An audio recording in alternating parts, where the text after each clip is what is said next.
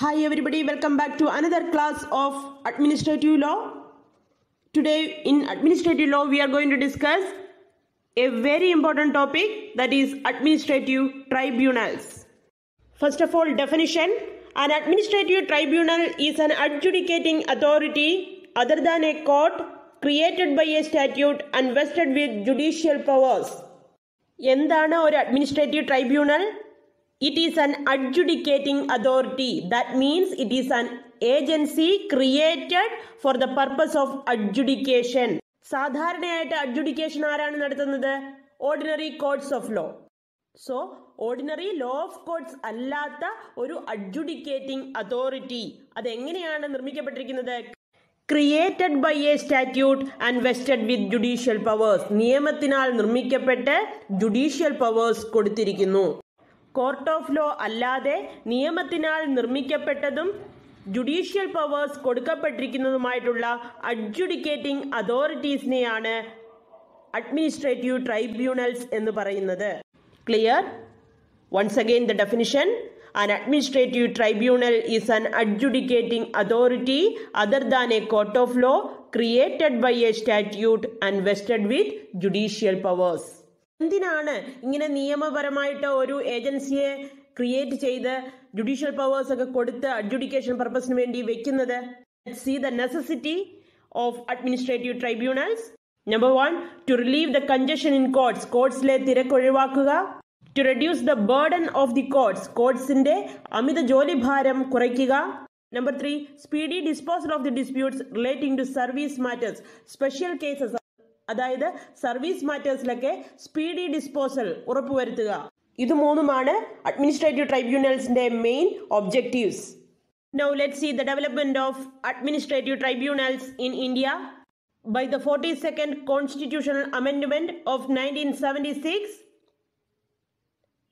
a new part that is part 14a included to our indian constitution. In this part 14a the parliament is enabled to set up administrative tribunals under article 323a and other tribunals under article 323b based on these articles the parliament passed the administrative tribunal act in 1985 Indian കോൺസ്റ്റിറ്റ്യൂഷന്റെ forty second അമെൻമെന്റ് പ്രകാരം ആയിരത്തി തൊള്ളായിരത്തി എഴുപത്തി ആറിലെ forty second അമെൻമെന്റ് പ്രകാരം part fourteen A include ചെയ്തു part fourteen എയില് with administrative tribunals and three twenty three B deals with other tribunals പാർലമെന്റിന് administrative tribunals article three twenty three A പ്രകാരവും other tribunals article three twenty three B പ്രകാരവും establish ചെയ്യുവാൻ ഉള്ള power ലഭിച്ചു.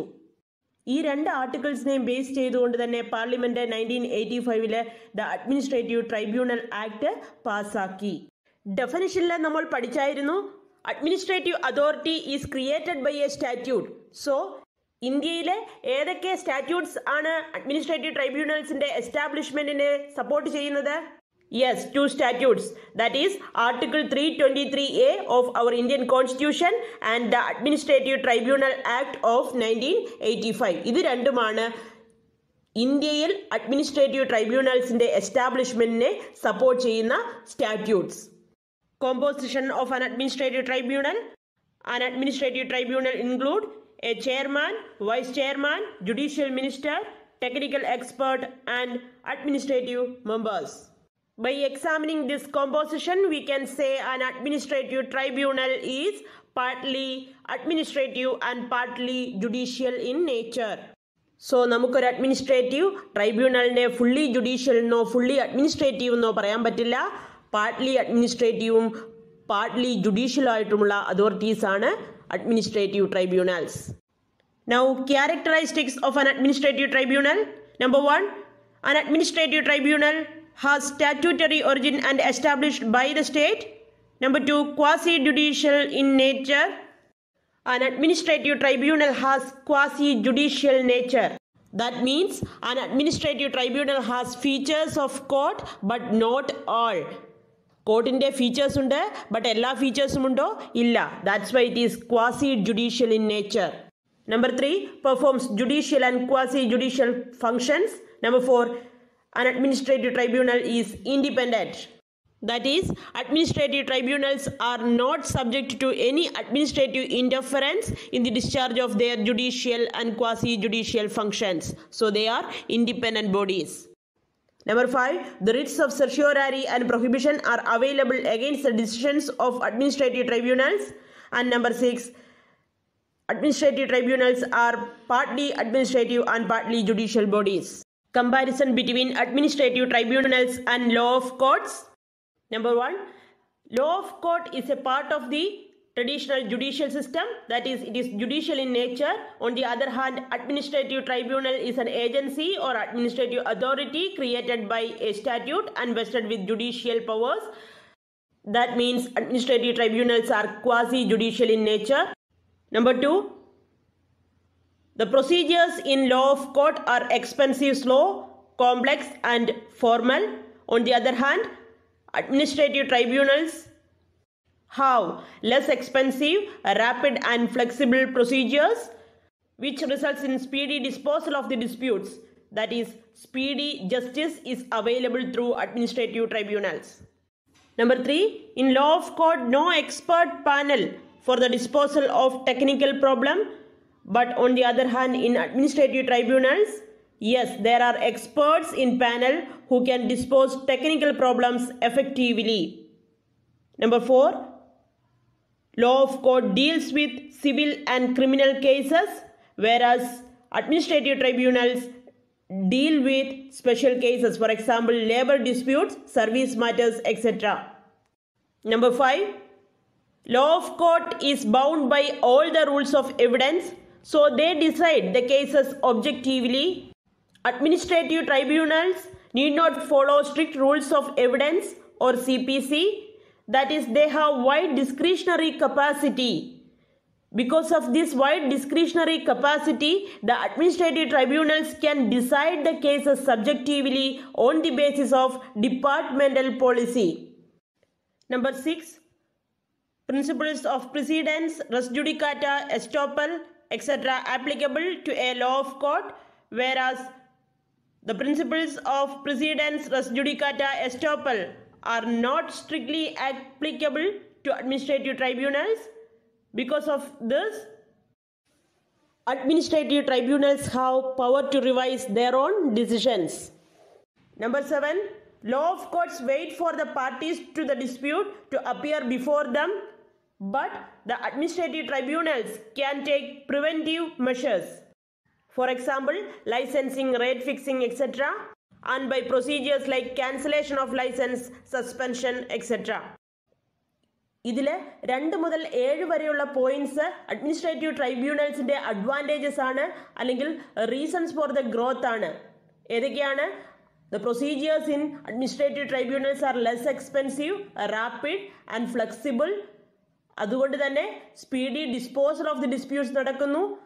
അതുകൊണ്ട് തന്നെ administrative tribunals വഴി speedy justice നമ്മൾക്ക് ലഭിക്കുന്നതാണ്. Administrative ട്രൈബ്യൂണൽസിന് അവരുടെ പാനലിൽ എക്സ്പേർട്സ് ഉണ്ട് ടെക്നിക്കൽ എക്സ്പേർട്സ് ഉണ്ട്. അതുകൊണ്ട് തന്നെ ടെക്നിക്കൽ പ്രോബ്ലംസ് വളരെ എഫക്റ്റീവായിട്ട് ഡിസ്പോസ് ചെയ്യുവാൻ കഴിയുന്നു. സ്പെഷ്യൽ കേസസ് ഡീൽ ചെയ്യുന്നുണ്ട്. അഡ്മിനിസ്ട്രേറ്റീവ് ട്രൈബ്യൂണൽസിന് സി പി സിയുടെയും എവിഡൻസിന്റെയും റൂൾസ് സ്ട്രിക്റ്റ് ആയിട്ട് ഫോളോ ചെയ്യേണ്ട കാര്യമില്ല. അതുകൊണ്ട് തന്നെ അവർക്ക് വൈഡ് ഡിസ്ക്രിഷണറി ആയിട്ടുള്ള കപ്പാസിറ്റി ഉണ്ട്. ഇത്തരത്തിലുള്ള ഡിസ്ക്രിഷണറി പവർ ഉള്ളത് ഓരോ ഡിപ്പാർട്ട്മെന്റൽ പോളിസിക്ക് അനുസരിച്ച് ഡിസ്പ്യൂട്ട് റെസൊല്യൂഷൻ നടത്തുവാൻ അഡ്മിനിസ്ട്രേറ്റീവ് ട്രൈബ്യൂണൽസിന് കഴിയുന്നുണ്ട്. Principles of precedents res judicata estoppel ഇവയൊന്നും അത്ര സ്ട്രിക്റ്റ് ആയിട്ട് അഡ്മിനിസ്ട്രേറ്റീവ് ട്രൈബ്യൂണൽസിൽ ആപ്ലിക്കബിൾ അല്ലാത്തത് കൊണ്ട് തന്നെ അവർക്ക് അവരുടെ തന്നെ ഡിസിഷൻസ് റിവൈസ് ചെയ്യുവാനുള്ള പവറുണ്ട്. പിന്നെയോ preventive measures licensing rate fixing പോലുള്ള മെഷേഴ്സ് എടുക്കാം. അതുപോലെ തന്നെ ക്യാൻസലേഷൻ ഓഫ് ലൈസൻസ് സസ്പെൻഷൻ പോലുള്ള പ്രൊസീജിയേഴ്സ് നടത്തുവാനും അഡ്മിനിസ്ട്രേറ്റീവ് ട്രൈബ്യൂണൽസിന് കഴിയുന്നുണ്ട്. ഇതൊക്കെയാണ് reasons for the growth or advantages number eight a law of court has persons trained in law whereas in administrative tribunal the presiding officer may be legally in inexperienced not all members are trained in law or not all members are from legal background Because of this, rules of natural justice may get violated. Number 9. In law of court, there is procedural uniformity, whereas in administrative tribunals, no procedural uniformity, which leads to arbitrary and inconsistent decisions. Number 10. In a court of law, judges are independent. On the other hand, the administrative tribunals are entirely in the hands of government. 11. In a court of law, a judge cannot decide a case in which he is interested. So, we can expect impartial decisions from a court of law, but administrative tribunal may be a party to the dispute and decide it. So, partiality may arise in administrative tribunals decisions. എട്ട് മുതൽ പതിനൊന്ന് വരെയുള്ള points administrative ട്രൈബ്യൂണൽസിന്റെ limitations അല്ലെങ്കിൽ drawbacks ആണ് administrative ട്രൈബ്യൂണൽസിൽ ഈ presiding officer എപ്പോഴും ഒരു ലീഗലി എക്സ്പീരിയൻസ്ഡ് ആയിട്ടുള്ള ആൾ ആകണമെന്നില്ല. അഡ്മിനിസ്ട്രേറ്റീവ് ട്രൈബ്യൂണൽസിലെ എല്ലാ മെമ്പേഴ്സും ലീഗൽ ബാക്ക്ഗ്രൗണ്ടിൽ നിന്ന് വരണമെന്നില്ല. അതുകൊണ്ട് തന്നെ എല്ലായ്പ്പോഴും നാച്ചുറൽ ജസ്റ്റിസിന്റെ റൂൾസ് വന്ന് വയലേറ്റ് ചെയ്യപ്പെടില്ല എന്ന് നമുക്ക് പറയാൻ കഴിയില്ല. സംടൈംസ് ഒക്കെ നാച്ചുറൽ ജസ്റ്റിസ് വയലേറ്റ് ചെയ്യപ്പെടും. പിന്നെയോ അഡ്മിനിസ്ട്രേറ്റീവ് ട്രൈബ്യൂണൽസിൽ ഒരു പ്രൊസീജിയറൽ യൂണിഫോമിറ്റി ഇല്ല. അതുകൊണ്ട് തന്നെ അവരുടെ ഡിസിഷൻസ് ആർബിട്രറി ആകുവാനും ഇൻകൺസിസ്റ്റന്റ് ആയിട്ടുള്ള ഡിസിഷൻസ് കൊടുക്കുവാനും അതായത് ഒന്നിനോടൊന്ന് വ്യത്യാസമുള്ള ഡിസിഷൻസ് ആർബിട്രറി ആയിട്ടുള്ള ഡിസിഷൻസ് അഡ്മിനിസ്ട്രേറ്റീവ് ട്രൈബ്യൂണൽസിന്റെ ഭാഗത്തുനിന്ന് ഉണ്ടാകാറുണ്ട്. ലോ ഓഫ് കോർട്ടിലെ ജഡ്ജസ് ഇൻഡിപെൻഡന്റ് ആണ് ബട്ട് അഡ്മിനിസ്ട്രേറ്റീവ് ട്രൈബ്യൂണൽസ് ഫുള്ളി ഗവൺമെന്റിന്റെ കയ്യിലുണ്ട്. ലോ ഓഫ് കോർട്ടിൽ ഒരിക്കലും ഒരു ജഡ്ജിന് അദ്ദേഹത്തിന് ഇൻട്രസ്റ്റ് ഉള്ള ഒരു കേസിൽ അല്ലെങ്കിൽ അദ്ദേഹം പാർട്ടിയായിട്ടുള്ള ഒരു കേസ് പോയി കൺസിഡർ ചെയ്യുവാൻ കഴിയില്ല. പക്ഷേ അഡ്മിനിസ്ട്രേറ്റീവ് ട്രൈബ്യൂണൽ ഈ ഡിസ്പ്യൂട്ടിന്റെ ഒരു പാർട്ടി ആണെങ്കിൽ പോലും അത്തരത്തിലുള്ള ഒരു കേസ് ഡിസൈഡ് ചെയ്യുവാൻ കഴിയും. അതുകൊണ്ട് തന്നെ അഡ്മിനിസ്ട്രേറ്റീവ് ട്രൈബ്യൂണൽസിന്റെ ഡിസിഷനിൽ പാർഷ്യാലിറ്റി വരുവാനുള്ള ചാൻസ് ഉണ്ട്. ഇത് നാലുമാണ് ഇതിന്റെ ഒരു ലിമിറ്റേഷൻസ് അല്ലെങ്കിൽ ഡിസഡ്വാന്റേജസ് ഇനി അഡ്മിനിസ്ട്രേറ്റീവ് ട്രൈബ്യൂണലിന്റെ ഭാഗത്തുനിന്ന് ജസ്റ്റിസ് ലഭിച്ചില്ല എന്നുണ്ടെങ്കിൽ ഹൈക്കോർട്സിനെ അപ്രോച്ച് ചെയ്യാവുന്നതാണ് aggrieved person under article two twenty six and two twenty seven of the Indian constitution examples for administrative tribunals railway rates tribunal industrial tribunal income tax tribunal copyright board claims tribunal the banking and insurance tribunal these are the examples for administrative tribunals.